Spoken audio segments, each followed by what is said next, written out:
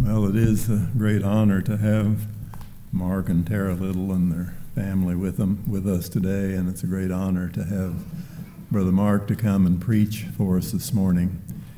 I first met him uh, down at Cedar Grove Baptist Church, where uh, John Hunter is the pastor. He was speaking in a Mid South fellowship meeting there, and he preached from Luke chapter 5, where the Lord taught the disciples how to fish. And they brought in such a draught that it broke their net, where Peter said, Depart from me, Lord, I'm a sinful man. Tremendous message. I will never forget it. And I've heard him preach since. I know that most of you have not heard Brother Mark, but we, you have read at least one article that he wrote on She is a Great Sinner in our uh, publication, The Messenger. so you're not total strangers to his ministry. But he's been a blessing to me these four years that I have known him and wanted to have him to come and speak for us here. Excuse my voice. I'm glad I'm not speaking this morning. that was providential. um, but I'm glad that they were able to accept this invitation and come and speak for us and be a part of our conference. Uh, you're going to, as you get to know them this week and fellowship with them, you're going to love them even more. But we love these who preach the gospel for the gospel's sake that they preach. And uh, Mark is an outstanding preacher of the gospel, loves the Lord, walks with the Lord. I had the privilege of being in their church, uh, Dominion Baptist Church, there in Birmingham uh, four years ago, and uh, three and a half, whatever.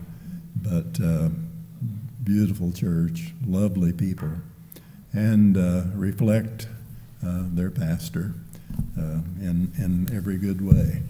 But we're glad to have their pastor with us today to preach for us. Brother Mark Liddle, he is the pastor of Dominion Baptist Church in Birmingham.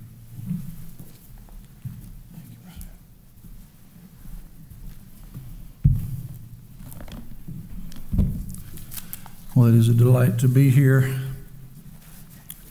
Set up shop here. It was a delight to have your pastor down with us, preaching on the minor prophets in that conference. And uh, every pastor needs a pastor to listen to sermons, and your pastor is one of them that I like to go to for his expositions of the Word. So I appreciate it very, very much. And delighted to be a part and to be able to take part and, and listen uh, for your 51st conference. And uh, these fellows that I appreciate so much that are going to be here with you. And I also appreciate the welcome you gave us last night with uh, bringing some tornadoes in, or since we're from Alabama, felt right at home. And uh, we were in there in the restaurant, and Tom was facing this way. I was facing out the window, watching it come in. And afterwards, I said, Now, Tom, whenever that lightning hits, it's like the whole sky is red. What does that mean? And he just said, Well, I'm not sure, but it's probably not good. So, but we are used to them. We have them too. So, uh, it's a delight to be with you all. If you'll turn in your Bibles to Hebrews chapter 13. Hebrews chapter 13.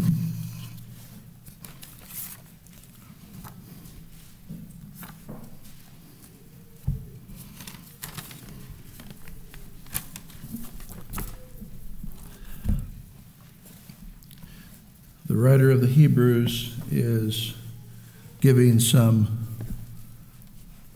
short statements.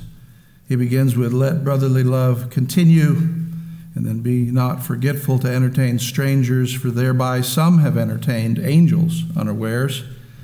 Remember them that are in bonds as bound with them, and them which suffer adversity, as being yourself also in the body. And then a text I want us to consider uh, this contrast that's made in verse 4. Marriage is honorable in all, and the bed undefiled but whoremongers and adulterers God will judge. Let's pray. We thank you, Father, for your word. Your word is truth. a lamp to our feet, a light to our path, that which sanctifies us, sets us apart for thy glory. We ask, Lord, that you would teach us, that you would help me in the preaching of the word and the congregation in the hearing of it. And we ask for your, your help, your grace. We pray that you would forgive our sins, that you would cleanse us from all unrighteousness, that you would lead us in paths of righteousness for your name's sake. We give you praise and thanks and honor. This is your day. This is the day that the Lord has made. We are glad and we rejoice in it. And so teach us now, O Lord. Grant us uh, thy, thy voice, we pray, in the name of Christ our Lord. Amen.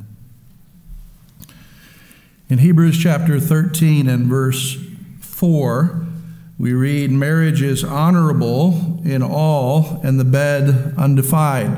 undefiled. Marriage is valuable, marriage is something precious, and the bed is undefiled. It's not stained. Not stained. So he gives us this contrast between the marriage and the marriage bed, and then goes on to speak of but whoremongers and adulterers God will judge.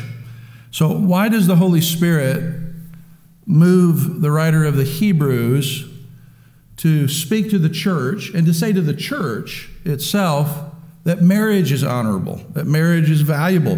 Why does the church need this message? And that the marriage bed is not defiled, it's not stained.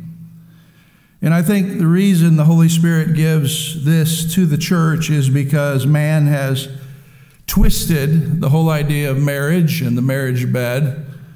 I heard recently uh, a man, a comedian, talking about there's one, uh, one out of every two marriages fail. And he says, well, if, if, if you found out that one, every, every, one out of every two parachutes failed, you wouldn't go up and jump. And of course, he got his laugh concerning marriage.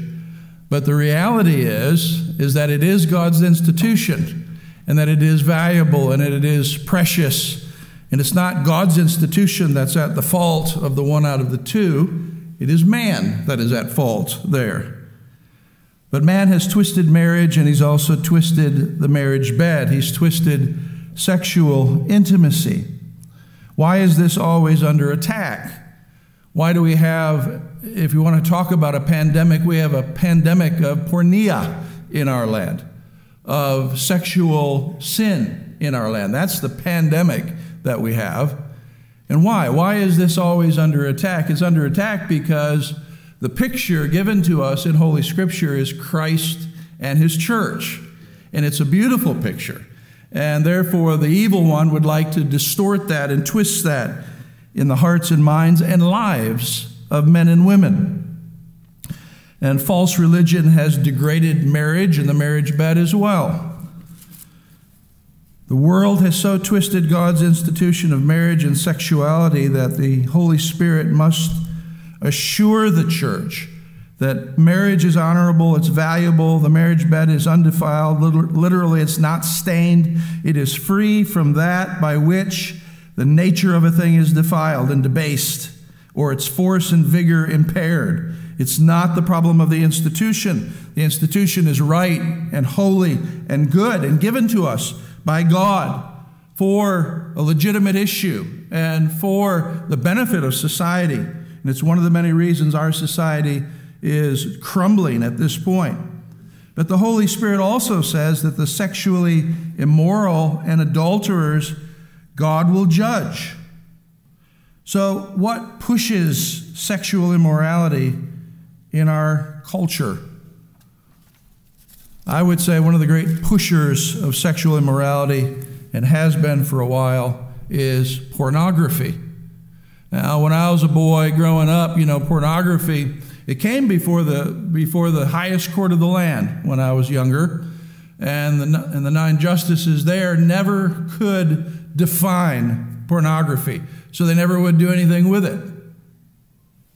Well, the word for sexual immoral is pornus from the root pornas, a man who sells himself for immorality. 1 Corinthians 6:18 says, "Flee sexual immorality." Pornean, which according to the lexicon is the root of the English term pornography. We get porno and graphic, and it is this selling off or surrendering of sexual purity. Pornography or graphic is to write about something immoral, to write about this twisted sexuality. In our text, where it talks about the sexual immoral are going to be judged. Porneia and moicheia are both mentioned from the Greek. One of them is marital, marital unfaithfulness or adultery. And the other one, porneia, is a more general term for just all the different kinds of sexual immorality that there is.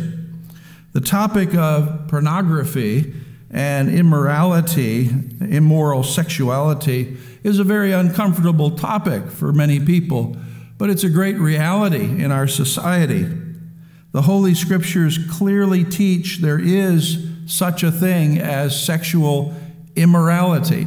Our society wants to make it amoral as though it doesn't make a difference either way, but it makes a great difference. In fact, the Scripture itself says that this particular sin is a very special sin because it sins against your own body, against your own soul, as it were. And God tells us this porneia is as old as the earth itself. The ancients made it a part of their religion, sexual immorality. To be a Corinthian was to understand that you were sexually immoral. And so that part and parcel of their religious gatherings had to do with sexual immorality. God tells us to flee it. Now, down in Alabama, if you're in the woods and you see a bear, you flee it. So you flee it because you're in danger. So God says that sexual immorality is a dangerous thing, and you are to flee it. And God also tells us that those who practice sexual immorality, that that is their life, they will not inherit God's kingdom. They will not be a part of God's kingdom. Mark tells us it's from within, from the heart one of the many sins that come from within our hearts. 1 Thessalonians 4 3 says that it's God's will to abstain from it. So we don't have any problem here of knowing whether it's right or whether it's wrong, whether it's God's will or not God's will. It's not God's will, sexual immorality.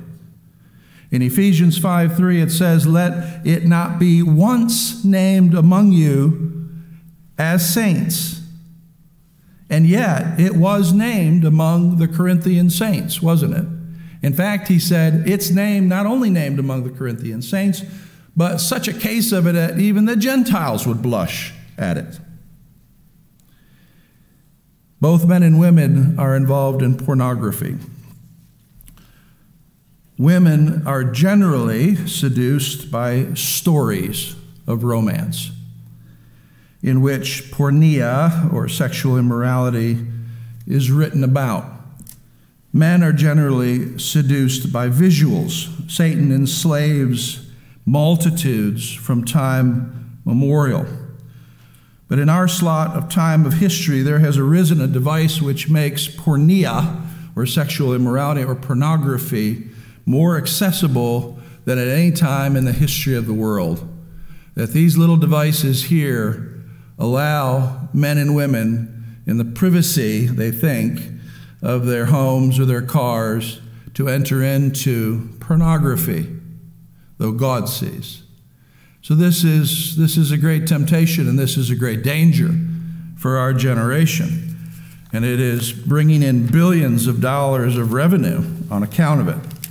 I think most of us are aware at how great the temptation is and how pervasive it is throughout the land.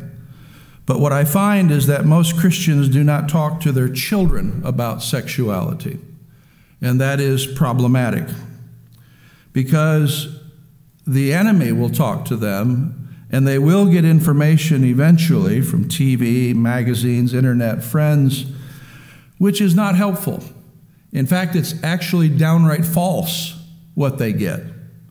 In fact, it's twisted sinfully. And it always is separated from God's reality for sexuality. So, why do we avoid the subject? Why do Christians even find it so hard to talk to their children about this subject? And I think part of the answer, at least, goes back to the Garden of Eden, as all things do. Adam and Eve was created, were created without shame. Their sexuality had no tint of shame. We can hardly understand that. And they were, it says they were both naked and not ashamed. But then they fell into an estate of sin. And what did they do? They were immediately ashamed of their sexuality as they tried to cover themselves. They knew somehow, intuitively, the great change that had taken place. And they were naked. That is, metaphorically, they were certainly naked before God. They were open eh, sinners before God, and they knew now they needed to be ashamed for what they had done before God. But Adam and Eve, who had never sinned by sexual immorality, instinctively covered themselves as a foreboding of things to come in the world.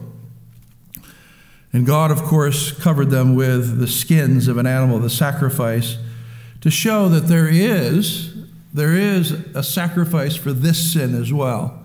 Some may think that this sin cannot be overcome. Some think that this sin may cannot be forgiven. But yes, indeed, even this sin can be forgiven. Even this sin can be overcome by uh, the song we heard about the cross of our Lord Jesus Christ.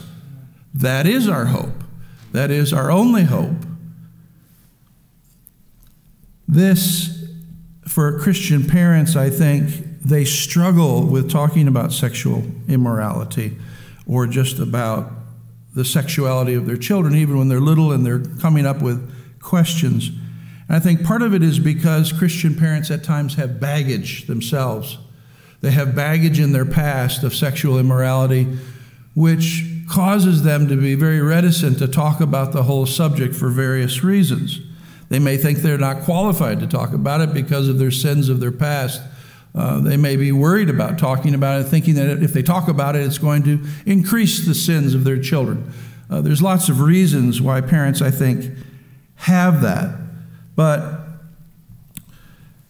children need a right instruction about our sexuality. We are talking about, and we'll be looking at the um, Song of Solomon a little bit as well, because what we're looking at is the lure of sexual sin, but also there has to be a cure for sexual sin. And the cure has to be that which is ordained of God and is pure and right and holy, not only in the human realm, but then something that transcends all of that in the divine realm as well.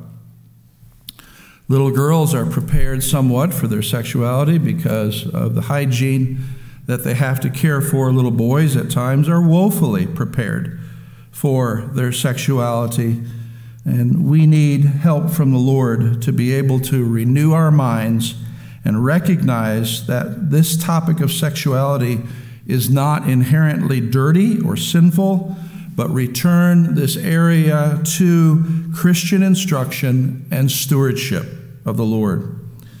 I have purposely asked myself this question why do men and women use pornography? And I ask the question so that I can understand what is, what is our weakness? What is the weakness of our own flesh? What are the devices of Satan that he uses in order to lure us in to the use of pornography, which I say is, is the ground and foundation for much sexual sin. When I was in college centuries ago, did a study on crime and sexuality you know, and it was it was obvious back then that pornographic users eventually were the highest abusers of mankind in criminal acts of sexuality. And it's the same today. It has just increased. Now, to the point to where when I was a boy, I could go out and play all day long anywhere in my little town, and my mom and dad never had a thought for it. And I would never think of doing that with my little girls because of the sexual trafficking that's going on and everything else. We are concerned, aren't we? Well, we need to understand Satan's devices and our own weaknesses as well. And we need to answer them. Now, why do men and women use pornography? I would say, first of all, it's curiosity. Curiosity. I can say that that's how I got into it as a boy. Both curiosity and also the fact that I had relatives that gave me access to it. Curiosity is a beautiful thing. It is a God given gift by which rational creatures explore their world, and Satan exploits this for his own purposes. Most children are introduced to pornography by their curiosity. Sad to say, there are also older children or adults that, by a sinful curiosity, take them to porneia websites. Christian parents and homeschooling parents, we count on curiosity in order to teach our children because they ask a thousand questions, sometimes much to our distress, all day long because they're filled with curiosity. So, curiosity is a beautiful thing and it's a wonderful thing. And we need to understand the power of curiosity and the power of the supercomputer that God put in your child's head called a brain. If your child feels as though you don't want to talk about sexuality, then they won't look for that information from you. Or if you put them off or say, just we don't want we don't talk about those things.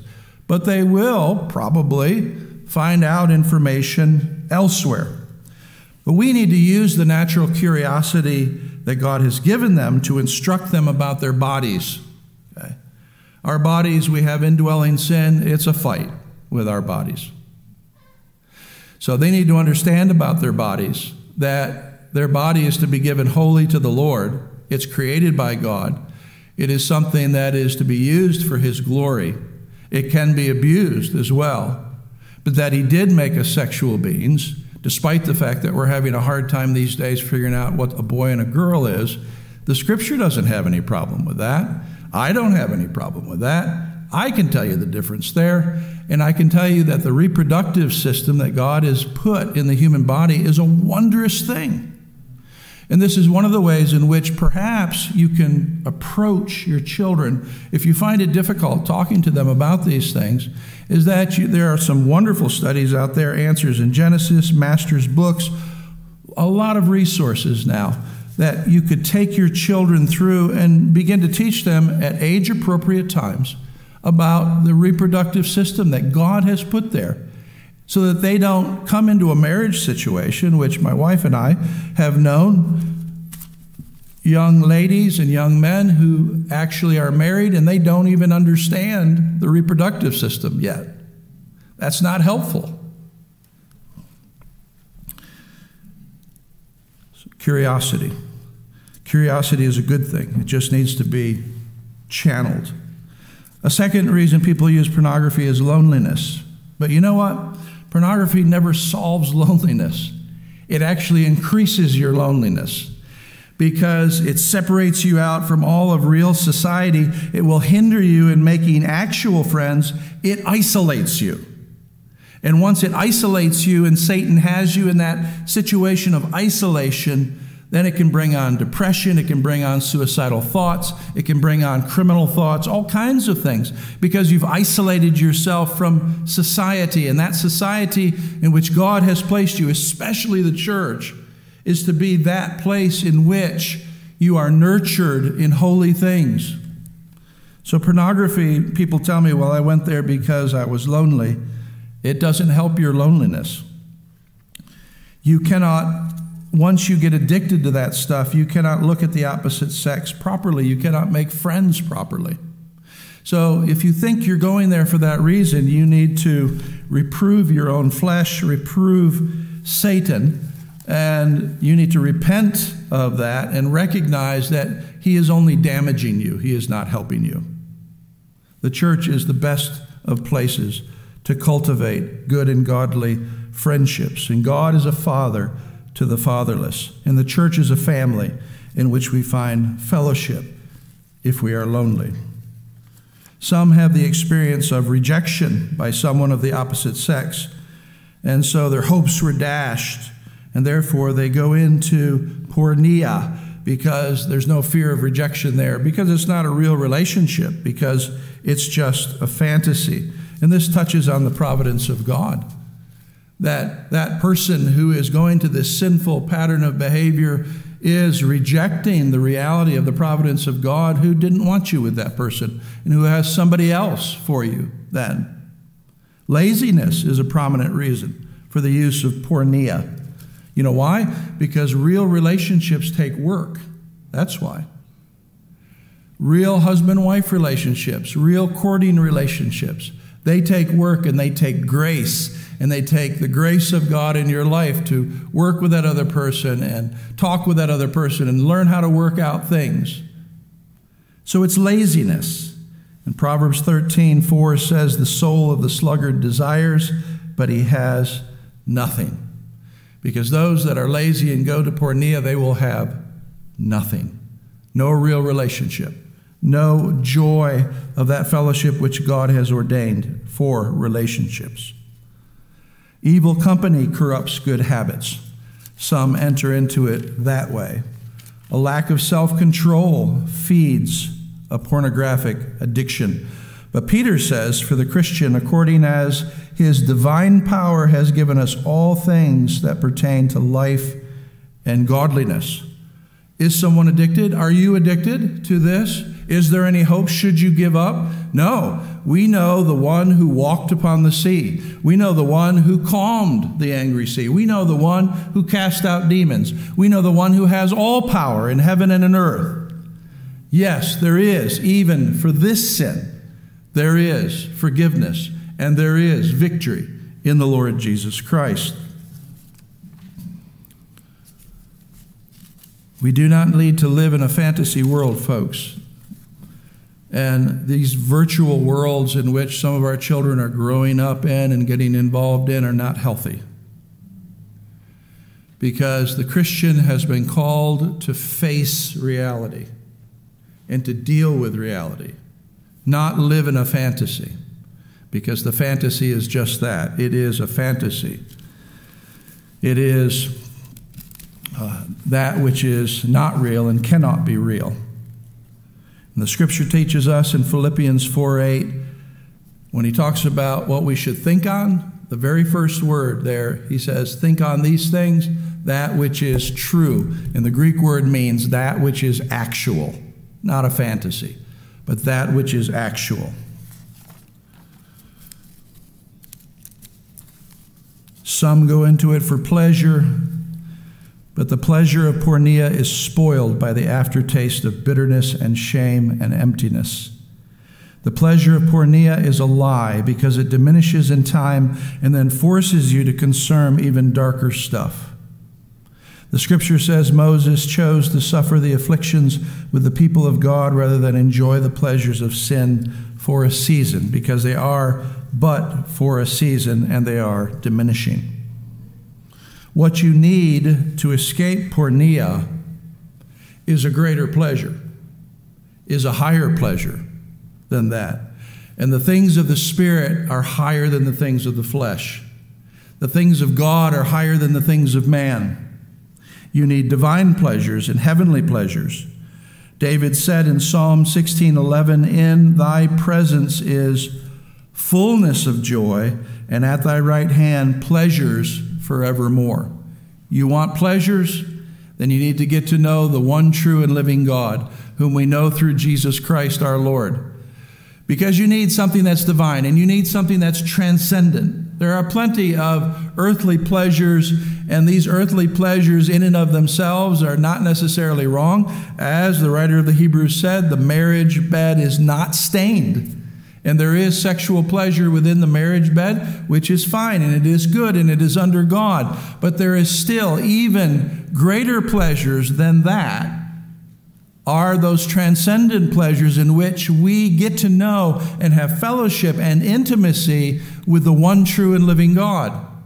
And for those who are either addicted to this stuff or they seem to, that they have a, this propensity to go back to it, a besetting sin, I think this is one of the great cures for that. You have to have something greater than that pleasure. And fellowship with the eternal God is a transcendent pleasure, which, if you will enter into it, you will find that that pleasure outshines these other little earthly pleasures. So we need a living, loving relationship to Jesus Christ, a pleasure higher than sinful pleasure, to know God in His purity. Turn in your Bibles to the book of the Song of Solomon.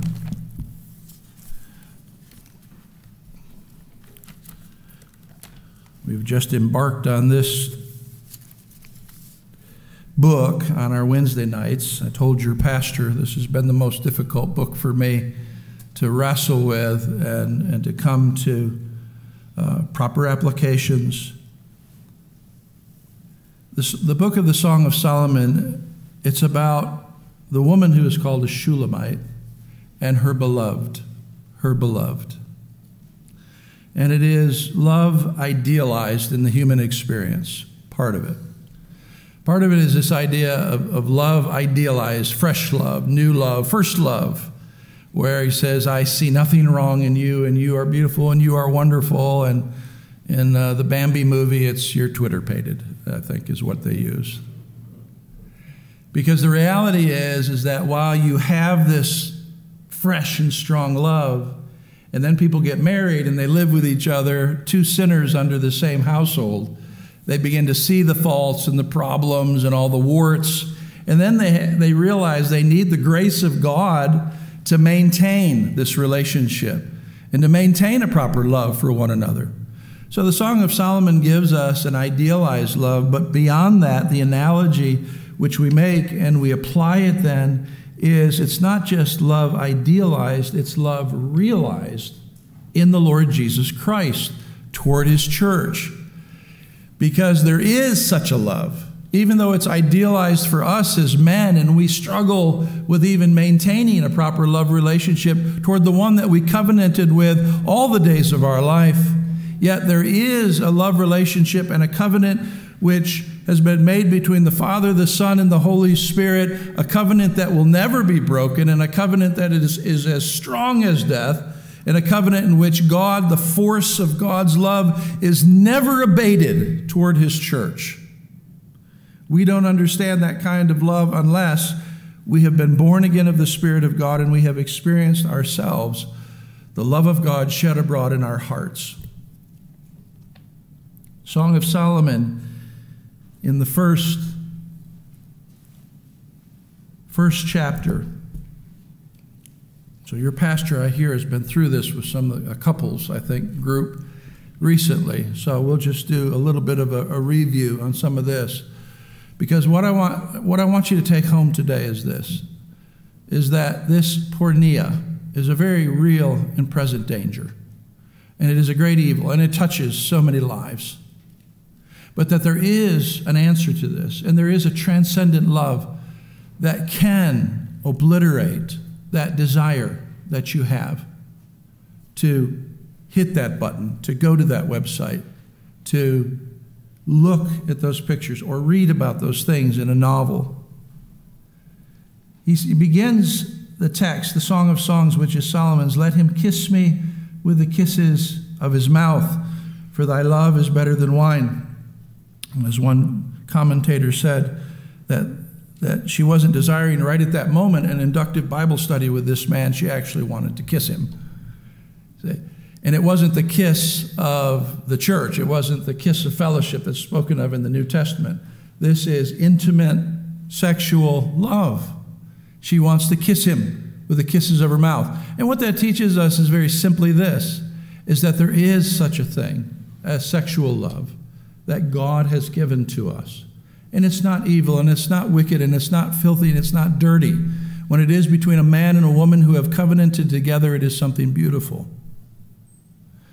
But that beyond that, the Puritans used to talk about the kisses of Christ, the kisses of God through Christ.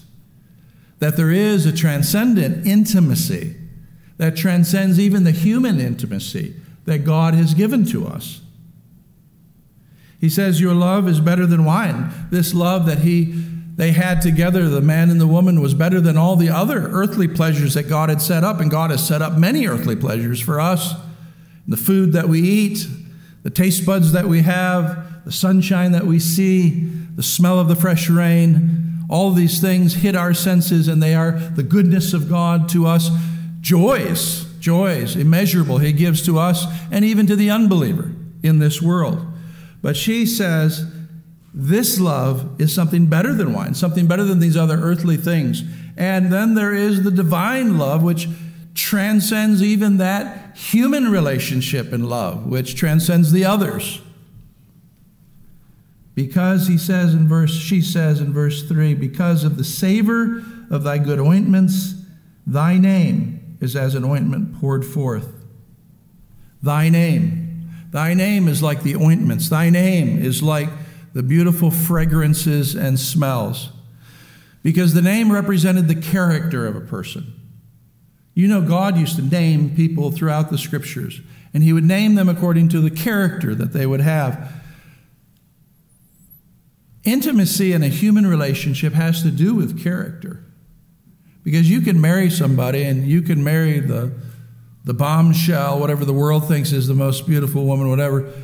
But if there is no character there, that lust will fade away so quickly. So that within the marriage relationship, too, the marriage bed is undefiled and it's a beautiful thing, but it's only a beautiful thing as throughout the day, the character of those individuals are loving each other and caring for each other. Because if they've been nasty to each other all day long, the marriage bed isn't going to look like much. And so it's the character. And when we think of the divine love, it is the character and nature of God. And when we think upon the character and nature of God, there is nothing but perfections to love, which is why His name, the name of our Lord Jesus Christ, is like an ointment poured forth. It is a fragrance. And so she says, Draw me, draw me in. And this is our desire that God would draw us in. In verse 5 and 6, she is concerned about the tanning of her skin because she's been put out to take care of the vineyards. It's not, a, it's not an ethical or racial thing, it's, it's the fact that she was out in the sun. When you're out in the sun, you tan. And so she's, she's conscious of the fact of these defects, and the saints are conscious of their defects before God. We are conscious of the fact that we are not a beautiful thing. But that we see what happens is that he sweeps all of this away because he says in verse 8, If you know not, thou fairest among women. Thou fairest among women. Now, there's an idealized love, but it's a realized love of God and Christ, and Christ to his church, who calls his church the fairest among women and we're conscious of our sins. He is conscious of the righteousness that He has placed upon us, and that our beauty and our fragrance all comes from Him. And in verse 7, she says, Tell me, O thou whom my soul loves, where you feed. It's a geographical thing. Where you, I want to know where you are. I want to be with you. I, want, I need to be with you. Because intimacy has to be about being with the person. You know, the old in the old movies, the, the, the stereotypical dad or husband at the table with the paper in front of his face, and he's just not there, is he? Even when he's there, he's not there because he's paying attention to everything else except his wife and kids. When Christ chose his disciples, the text of Scripture says he chose them to be with him. With him. And so her desire is that she would be with her lover. And of course, this translates to the desire that the saints have to be with God, to have fellowship with God. And this is a necessary thing for our relationship, our intimacy with Christ. And in verse 8, she verse 7, she says, Where are you? I don't know where you are. I don't know where you feed your flock and you rest your flock but indicating the fact that she knows he is a good shepherd, that he gives his, his sheep, as Matthew Henry says, repast and repose. He gives them food and he gives them rest. She knows that. And she wants to be with him.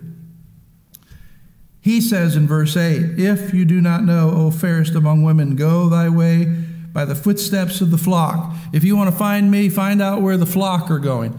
Follow the footsteps of the flock, and you will find me. It makes sense. Makes sense for the saints as well. You want to know where the Lord Jesus Christ is?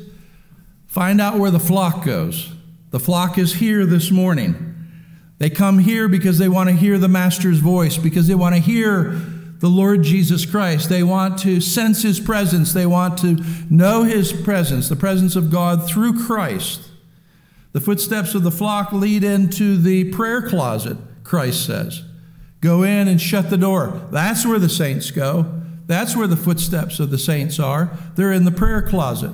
They're with the Lord, having fellowship with God. You want to find the shepherd? Go into the prayer closet. You want to find the shepherd? Go to where the public gathering of the saints are. These are the footsteps of the flock. Find a God fearing man and woman and see what they do. See where they go. See how they counsel. You need counsel concerning these things?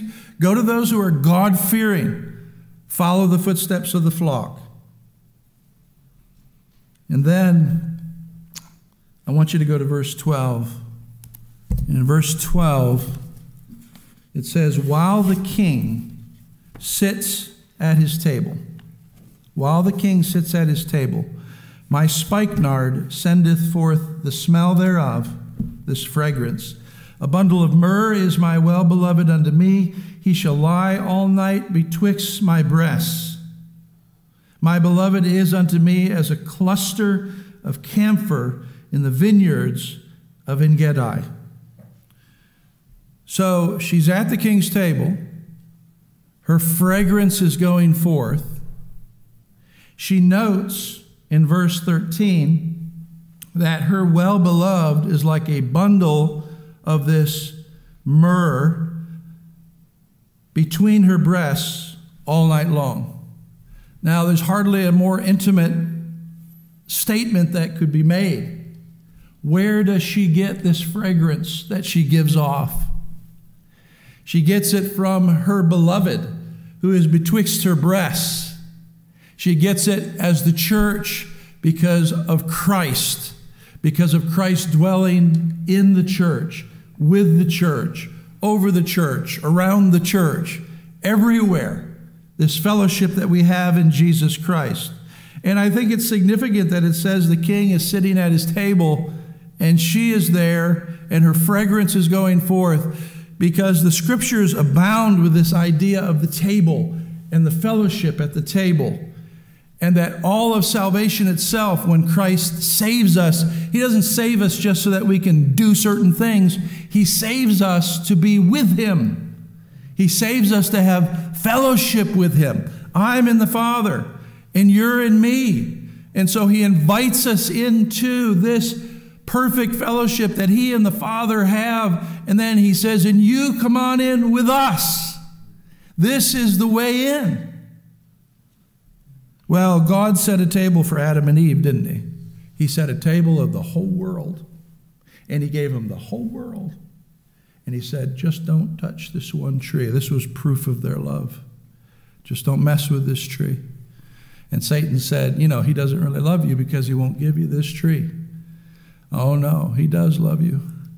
And Satan was saying, You're really deficient unless you taste of this tree. But the fact was, is that the fact that they didn't taste of that tree meant they weren't deficient.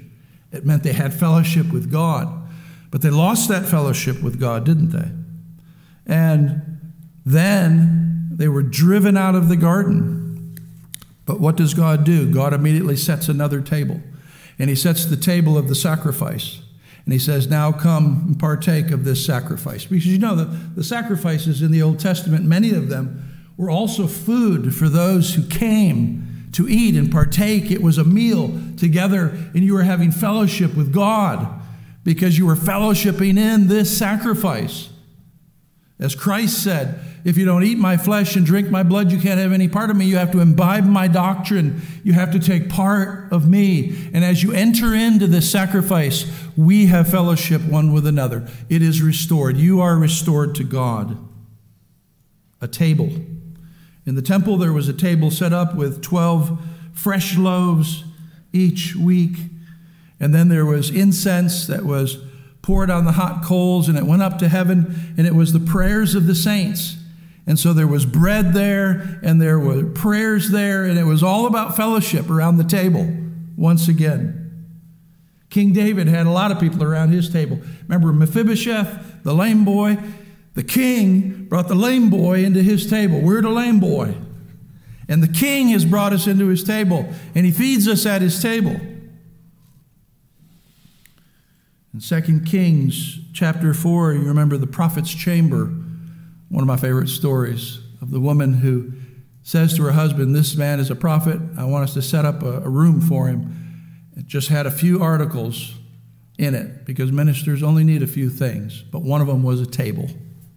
Because at that table, he would partake of earthly bread to sustain himself, but he would also lay down his manuscripts so that he could partake of the Word of God as well, so that he could preach and teach it as he went on his itinerant ministry.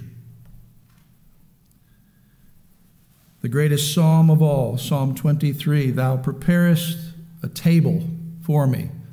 Where? In the presence of my enemies. That there is no place on this earth, and there is no situation on this earth, and there is no situation so terrible that God can't make us a table and us partake in fellowship with Him. Israel's great sin in Psalm 78 was to ask God this question Can God furnish a table in the wilderness? That was a terrible question. God had furnished a table in the wilderness, and God still furnishes a table in the wilderness. And I'm telling you, porneia is a wilderness. That will never, porneia will never make you happy. It will never make you not lonely. It will never help you. It won't help you in your marriage. It won't help you in your relationships to anybody. But what will is to be around the table of the Lord Jesus Christ and be furnished with good things from him. The woman in Canaan, she said, All I want is just crumbs from the table. If you just give me crumbs from the table, that's enough. And Christ honored her faith. Turn to Luke chapter 22 for a moment. Luke chapter 22. one of the many astounding passages of scriptures. Luke chapter 22, verse 29.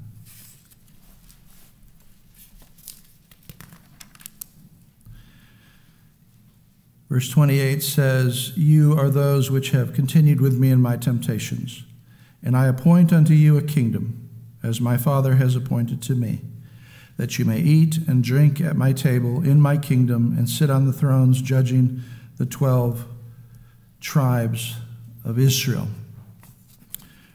So he has appointed a table, and he has appointed for us not only a, a kingdom, but a table to, for us to partake and eat and drink at his table. And then turn to Luke chapter 12. Luke chapter 12 and verse 36. Verse 35 says, Let, let your loins be girded about and your lights burning, and ye yourselves like unto men that wait for their Lord when he will return from the wedding, that when he comes and knocks, they may, be op- they may open to him immediately. Blessed are those servants whom the Lord, when he comes, shall find watching. Verily I say to you, that he will gird himself and make them sit down to meat and come forth and serve them. That's an astonishing verse that the Lord of all glory will come and serve his people at the table. But we're not surprised by that because John 13, it says that the Lord Jesus Christ took the towel and he went around to all his servants because he loved them to the very end. Blessed are they that are called to the marriage supper of the Lamb. And so the book of the Song of Solomon teaches us that there is, there are transcendent pleasures. And those pleasures are found around the table of our Lord Jesus Christ.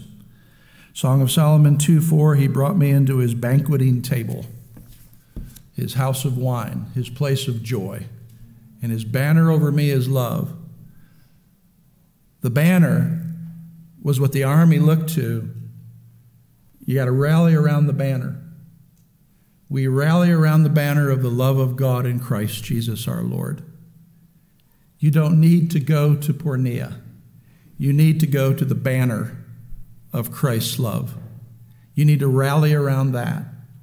You need to find your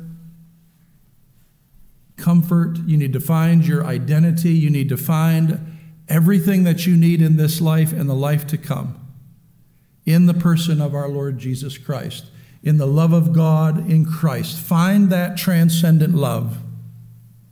And you will, by the grace of Christ, find something that's greater than all these temptations of the world when they say to you, Here is love, here's what you need, here's what you need to lust after. No, we need to lust after, desire after the Lord Jesus Christ Himself.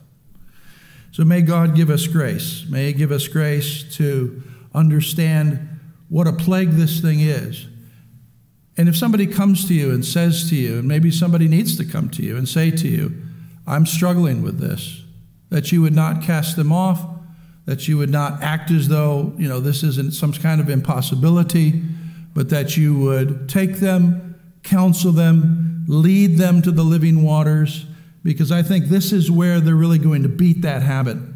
They have to have salvation in Jesus Christ. And if they are a saint who from time to time has fallen into this sin, then they need to be shown that here are transcendent pleasures. And if you will carefully stay around the table of the Lord Jesus Christ, you will find you don't need these other things because it's a greater pleasure. May God help us. Father, we thank you for your word. We thank you for the love of God in Christ. We thank you for the table that you have set for us of all good things for this life and also the life to come through our Lord Jesus Christ. We thank you for that redemption which cleanses us from all sin. If there be those, O oh Father, who are here today and who are who find themselves in the grip of this sin, we pray that you might come with power upon their soul and that you might impart to them life from above, and that they might see the beauty of Christ, that they might have the love of God of, uh, shed abroad in their hearts through Jesus Christ our Lord. We pray. Amen.